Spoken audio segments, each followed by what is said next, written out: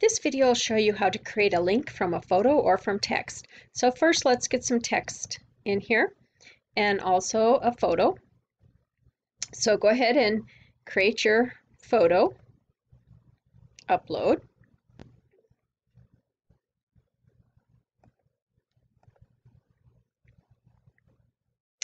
And then um, click on here, then click on link, and you want a link to a file.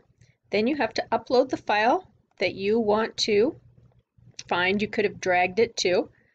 And go ahead and click on the file that you want to open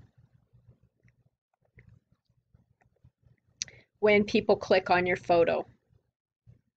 Okay, it's clicked, just click on the outside. Now your link will not work until you publish and test it. So I'm going to do the text one just so you see how this one works.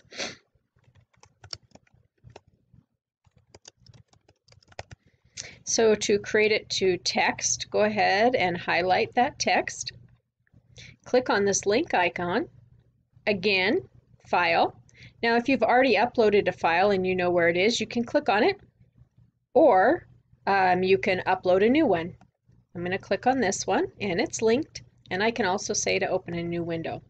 Okay, um, another little hint on your pictures. If they're too big and you have to scroll way down, go ahead and put a couple of spacers on either side of these.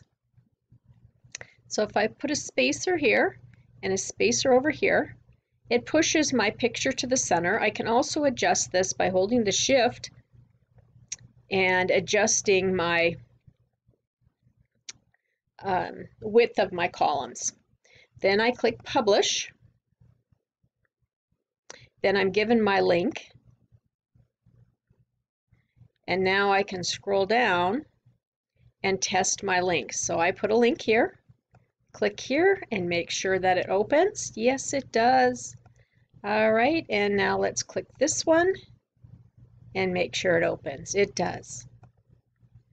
And that's how you create some links either to uh, a graphic of some sort, a photo, or by creating text.